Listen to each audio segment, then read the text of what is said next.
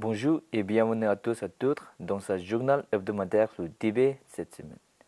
Je suis Pema Tsawang avec une nouvelle édition d'actualité sur le Tibet, sa société le Dalai Lama et l'administration centrale tibétaine. Voici les titres de cette semaine. Sa société le Dalai Lama exprime sa solidarité avec les victimes du tremblement de terre à Taïwan. Sa société le Dalai Lama assiste à la prière de l'envie qui lui est offerte par l'association Teba et les habitants de Purang. La conférence sur les relations tibéto-mongoles s'achève avec succès sur des promesses de collaboration futures. Le bureau de Tibet à Kathmandu lance la manière Losei Gulkin. Le vice-président de la Chambre de représentants rencontre Steve Schroeder, membre du conseil d'administration de la campagne internationale pour le Tibet.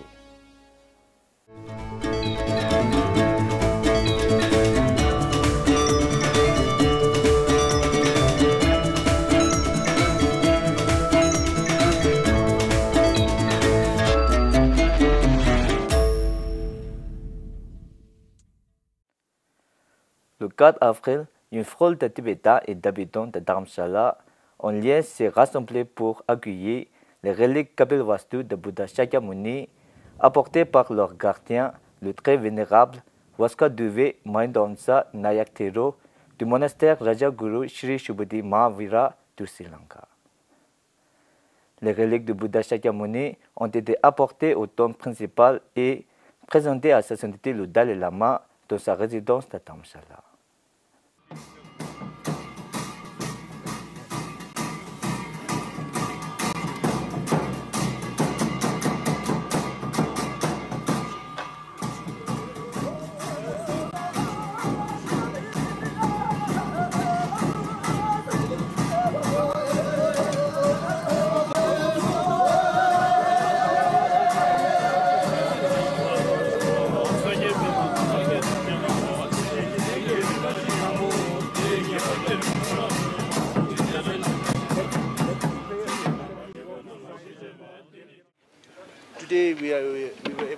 Offer the Buddha relic, the holy relic, uh, part of Buddha's own body. And uh, this Mahanayaka Thero from Sri Lanka, a highly respected monk. Uh, he in Sri Lanka there are two main monasteries. One is in Kandy where they have the Buddha's tooth relic, and this venerable monastery is in uh, nearby Colombo, and uh, he has. Um, uh, quite a few relics, and he wanted to offer it to His Holiness to show his appreciation on the behalf of all the Sri Lankan Buddhist community for His Holiness's work for the humanity and for particularly uh, for the service for the Buddha Dhamma that His Holiness has done for the last more than uh, 60 years. So to show the appreciation, this is to uh, to um, uh, he's offering this relic. Yes. Uh, yeah, this marks a special and momentous occasion uh, for us, for Sri Lankans, all the Sri Lankans, not only uh, the Buddhist monks, but as well as lay people as well. And I think it, uh, this is a momentous occasion for uh, entire Buddhist community in the world because we were able to gift the holy, authentic, authentic and sacred relics of the Buddha because these were found from the Piprava excavations in Kapilavastu, and it is documented. This, this these, these, are the authentic ones and well documented uh, relics. These are the only documented relics uh, in uh, Sri Lanka. These relics are enshrined in uh, Mahanayaka, most esteemed Mahanayaka Thero's temple that is located about 30 kilometers away from the capital of Sri Lanka, that's in uh, Vaskadua area. And here, this Venerable Thero is the chief incumbent of this temple. Le 3 avril, Sa Sainteté le Dalai Lama a écrit à Tsai Ing-wen président de Taïwan, République de Chine, pour lui exprimer sa tristesse à la nouvelle qu'un puissant tremblement de terre survenu au large de la côte orientale de Taïwan mercredi matin à cause des pertes humaines et entraîné d'importantes destructions de biens et d'infrastructures.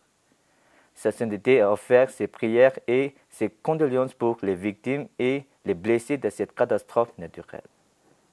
Au nom de l'administration centrale tibétaine, et du peuple tibétain dans le monde entier, Sejong Pemba Tsering a écrit une lettre à le président Tsai Ing-wen pour lui exprimer ses sincères condoléances et offrit ses prières pour les pertes infligées par le tremblement de terre dévastateur.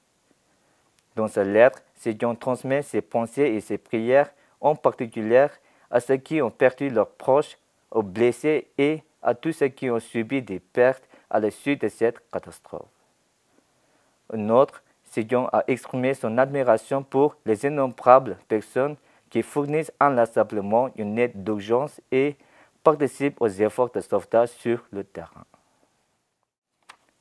Le 3 avril, sa sainteté le Dalai Lama a assisté à une prière de l'envie qui lui a été offerte par l'association Teba et le peuple Purang au tombe tibétain principal de Dharamshala.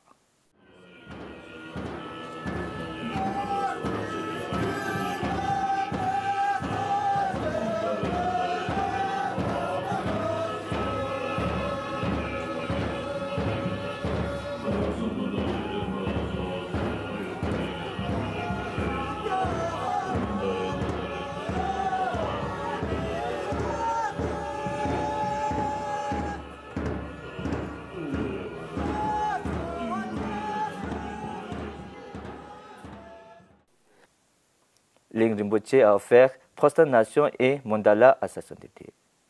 Il a ensuite procédé à une série d'offrandes et aux autres des rituels afghans à la prière de l'envie à sa sainteté le Dalai Lama. Au cours de son discours, sa sainteté a une nouvelle fois déclaré qu'il était déterminé à vivre plus de 100 ans et prier pour sa fête. Sa sainteté a ensuite déclaré qu'il souhaitait encourager les gens à développer un sens plus aigu de l'éthique à servir l'humanité et en s'affrontant sur une meilleure compréhension du fonctionnement de leurs esprits et de leurs émotions, à cultiver la paix de l'esprit.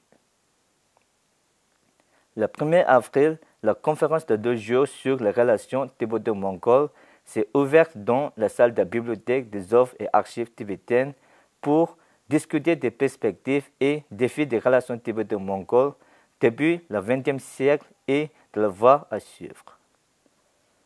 Plusieurs universitaires et dignitaires tibétains et mongols, dont deux anciens ambassadeurs mongols, ont assisté à la conférence organisée par la Fondation Dilov Udogdu Mongolie en collaboration avec le Tibet Policy Institute et le Tibet Culture Center, bureau du Tibet 6 à Moscou. Le représentant Telo Rinpoche du bureau du Tibet à Moscou, dans son discours d'ouverture, a présenté à l'Assemblée son rôle de lama bouddhiste tibétain né à Kalmuk en tant que représentant auprès de l'administration centrale tibétaine. Tout en reconnaissant les liens historiques entre le Tibet et la Mongolie, le représentant a appelé à la renaissance et à la revitalisation de ces relations dans l'ère moderne. Honored and blessed to be the only, say this jokingly, but in reality, it's a fact. I happen to be the only non Tibetan Tibetan bureaucrat. I've been serving as His Holiness the Dalai Lama's representative since 2015. It's been a blessing. It's an honor to serve not only His Holiness the Dalai Lama, but also to serve the Tibetan people. I grew up knowing the tragedies, the struggles, the movement, the ideology, the policies, and I'm still behind. And that's something that I will live with for the rest of my life. My support is unwavering and will continue to the, till the last day. Pendant les deux jours de la conférence, les intervenantes ont discuté de la Mongolie et du Tibet de 1900 au 1913. Ils ont également évoqué l'histoire de la Mongolie, du contrôle de la dynastie Qing à l'indépendance, les personnalités mongoles du XXe siècle et l'importance des visites de sa sainteté le Dalai Lama en Mongolie en 1976 et en 2016 et débattu de bien d'autres sujets encore. Au cours de la deuxième journée de la conférence, lors de la session de la clôture, le représentant Taylor Rinpoche s'est félicité la renaissance des relations étroites entre les deux communautés et de l'organisation de réunions similaires dans les années à venir. Il a imploré le Tibet Policy Institute de former une équipe de recherche pour étudier, en profondeur relation entre le Tibet et son plus ancien allié, la Mongolie. Dans ses remarques finales, le directeur du Tibet Policy Institute, Dawat Siring, a déclaré Tandis que s'achève ce sommet historique, s'amorce une nouvelle phrase dans la restauration des liens entre Tibétains et Mongols.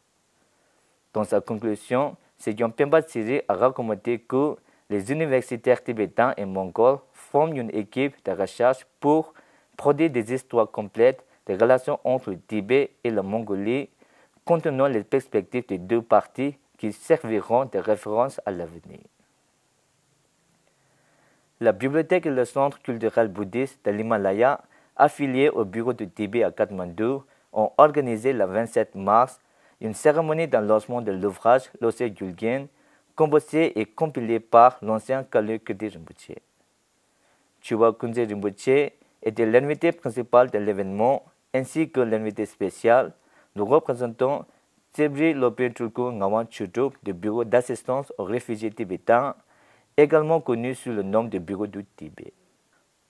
Environ 70 personnes, dont la secrétaire du Bureau du Tibet, d'anciens parlementaires tibétains résidant à Kathmandu, des responsables d'établissements tibétains, le président d'Assemblée tibétaine locale, le président du mouvement régional pour la liberté tibétaine, des directeurs d'écoles et de monastères tibétains locaux et des représentants d'ONG tibétaines ont assisté au lancement du livre.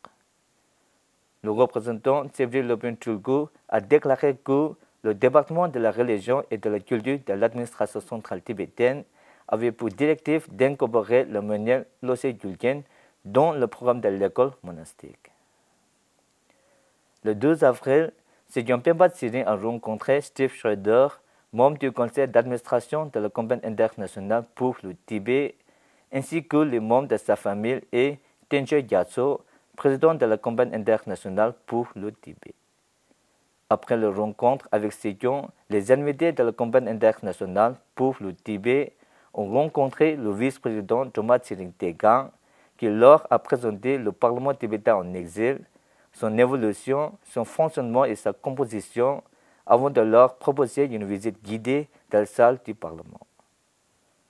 Développons les initiatives du Parlement tibétain telles que les visites périodiques, les campagnes de sensibilisation, les programmes d'information et autres, le vice-président a exprimé sa profonde gratitude au gouvernement et au peuple des États-Unis pour leur soutien indéfectible à la juste cause du Tibet, en particulier par l'adoption de nombreux projets de loi relatifs au Tibet au sein du Congrès américain. Le vice-président a souligné que sa sainteté le Dalai Lama avait prévu une réserve pour la représentation des femmes au Parlement ce qui a joué un rôle essentiel dans l'autonomisation des femmes tibétaines, leur permettant d'assumer des rôles de leadership au sein de la communauté, y compris au sein de l'administration centrale tibétaine. C'est tout pour cette semaine. Merci d'avoir suivi Tibet à la semaine prochaine.